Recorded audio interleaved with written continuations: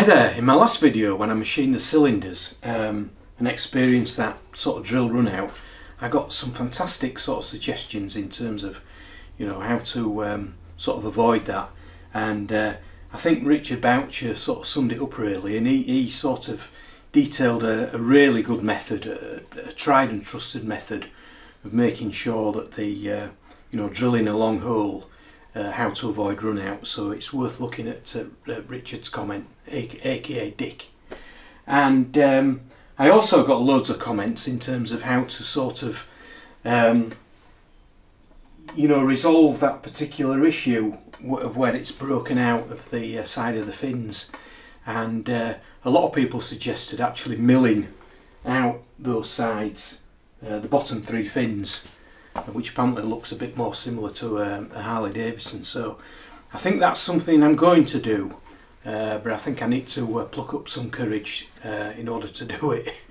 um, but anyway, in this video what I'm going to be doing is machining the pistons for this uh, little Hoglet engine.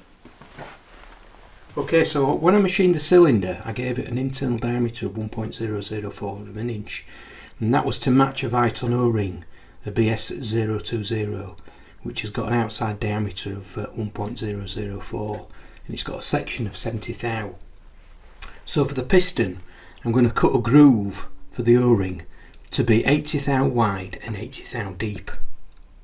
So fingers crossed it'll work out okay and the actual piston diameter is going to be 1.002 of an inch. Now if this Viton O-ring is a little bit on the small side I could always go for a Viton BS117 which has got an outside diameter of 1.005 of an inch and it's got a bigger section so I'd have to remachine the groove to accommodate that but uh, it's just a bit of an insurance policy.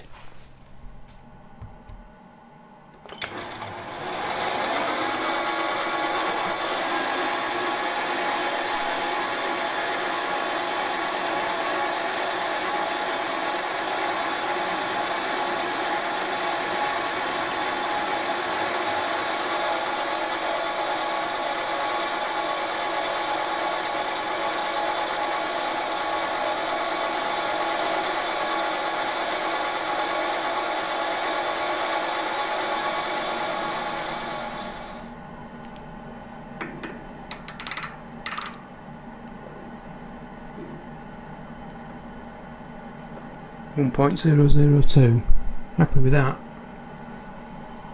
So I'm just going to mark the top of this piston with this parting tool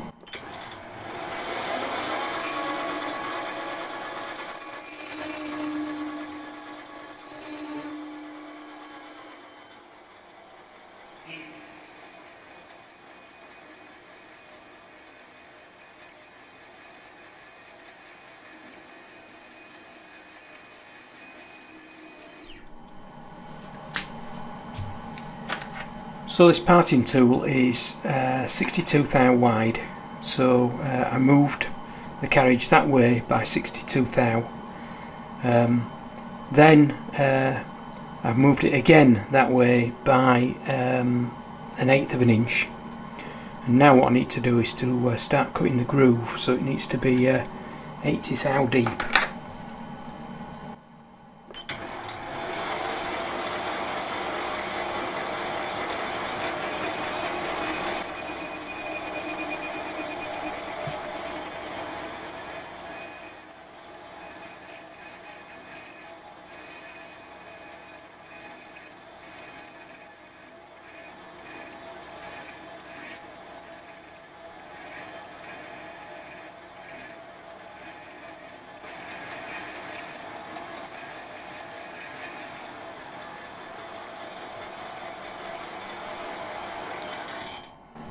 Okay, so it now it needs to be 80 thou wide, so obviously this is uh, 62 thou wide, so I need to move the carriage this way by another 18 thou and cut again to um, 80 thou depth, but I'll do that bit off camera. So I've just centre drilled the end and uh, now I'm going to uh, use this 6mm drill bit and I'm going to go to a depth of 0.8 of an inch.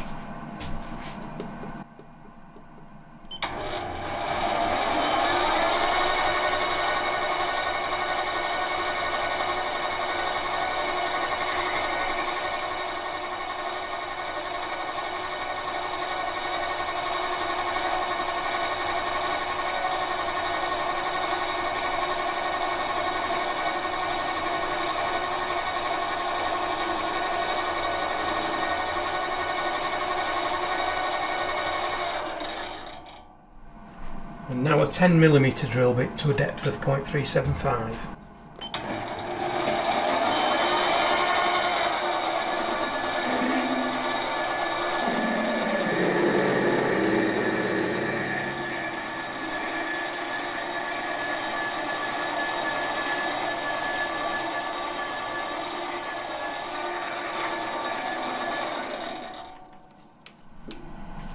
And now just opening the end up with a boring bar.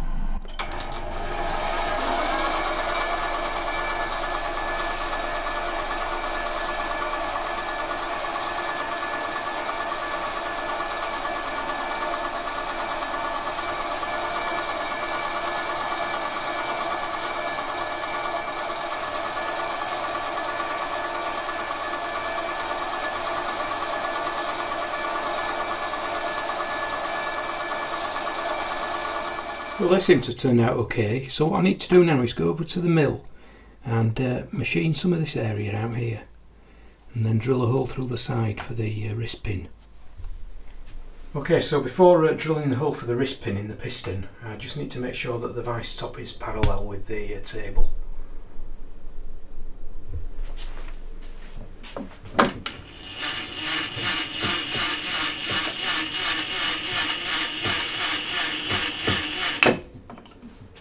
That looks pretty good.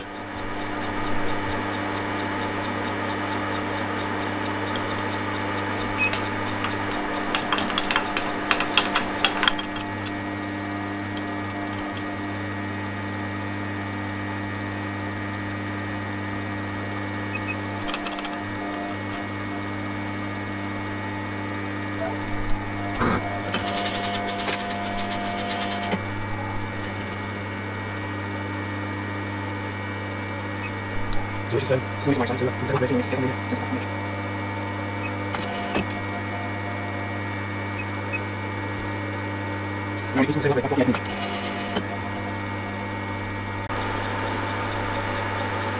Okay, so I'll centre drill off camera and then I'll uh, drill and ream. I think it's a quarter of an inch hole.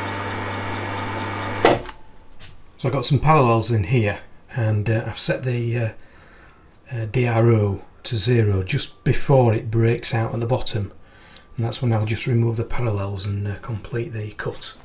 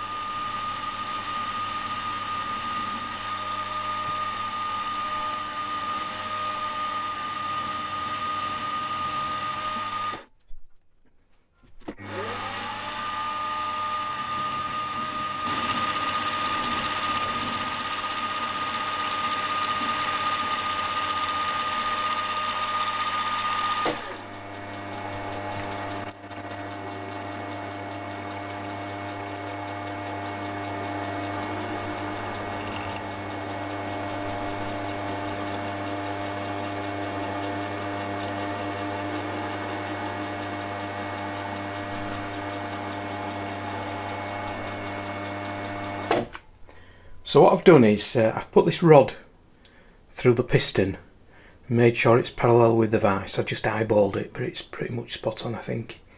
Then I used an edge finder to find the centre and as a double check I'm going to use this coaxial indicator.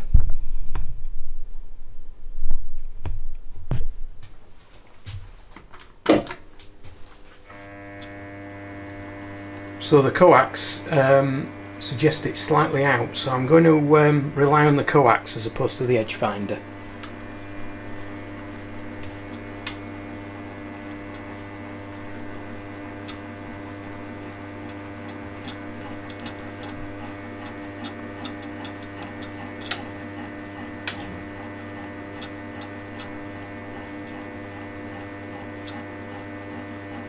I think that's as close as I can get it.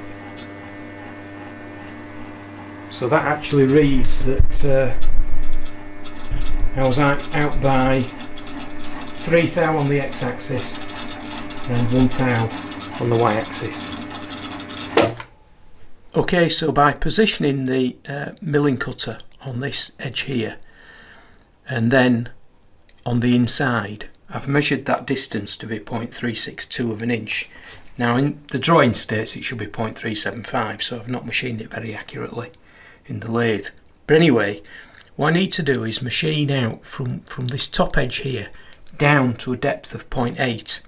So with it already being 0.362 machined out, I take 0.362 off 0.8 and I get 0.438. So I need to um, cut down to 0.438 initially.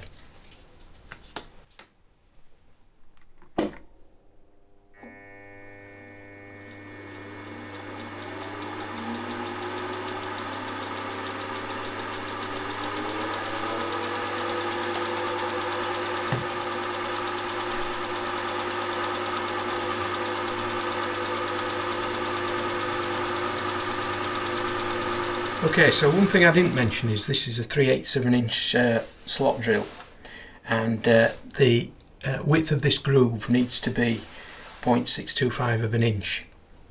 Now I've obviously already drilled a width of 0.375 so if I take uh, 0.375 off 0.625 and then divide that by 2 I get 0.125 so I've moved the y-axis that way by 0.125 and I'm going to repeat exactly the same process and drill to a depth of uh, 0.438 then once I've done that I'm going to move the table this way uh, by uh, 0.125 twice and then drill again to the same depth.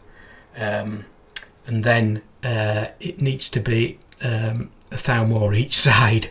So a little bit of fiddling around machining but uh, I'll do it all off camera well, I've come across a slight problem in the fact that um, this piston won't fit onto the little end because the drawing shows um, these corners to be at right angles. Obviously I've got a curve on them. So I'm going to have to put it back in the mill and use um, a small end mill just to get rid of that radius there on all of the corners. It's very fiddly so I'll do it off camera then I'll get back to you. Well on the second piston I decided to take a, a different approach to cutting this recess. What I did was I used a 3mm uh, slot drill and uh, I worked out the coordinates for the corners uh, to be uh, 0.129 and 0.2535 uh, of an inch and uh, obviously positives and negatives accordingly. So what I what I did was um, I used this three millimeter slot drill and plunge cut the corners down uh, just over 400 thou. And then having done that, I sort of went down each of the sides plunge cutting, and uh, then I just tidied it up by going round. Uh, I got definitely a better result. Well, I've put the rings on and uh, quick crude test of compression.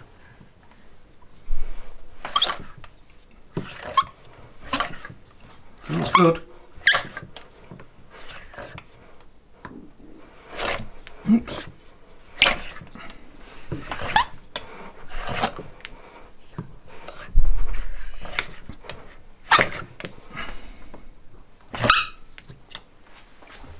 Happy with that. Well, I thought those pistons would be right old doddle, uh, but cutting the, that recess out in the back was uh, really difficult I found. Um, but I got there in the end. And uh, I think my next video I'll be covering the uh, cylinder head, which should be exciting. Uh, but anyway, uh, I hope you enjoyed this video and I hope to see you later.